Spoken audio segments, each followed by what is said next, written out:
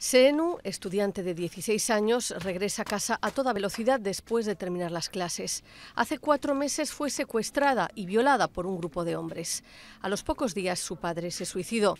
La denuncia de su agresión a la policía fue otro momento traumático.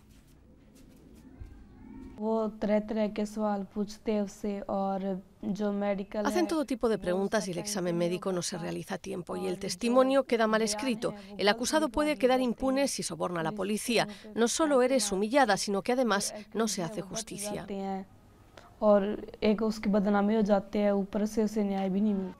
Tras la brutal agresión que causó la muerte de una joven el pasado mes de diciembre, la ciudadanía reclama cambios en la India. La policía es acusada de pasividad en los casos de violación. Por ello, las autoridades están tratando de cambiar sus métodos.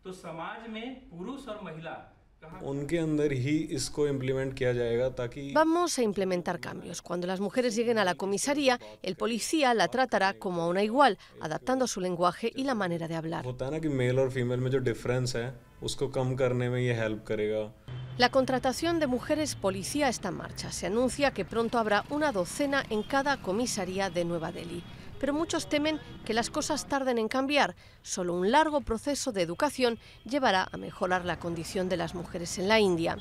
En el 2012, los casos de violaciones en Nueva Delhi aumentaron un 25% en relación al año anterior. Y a pesar de la indignación popular, las agresiones continúan. Caminar por la calle sigue siendo un riesgo cotidiano para las mujeres.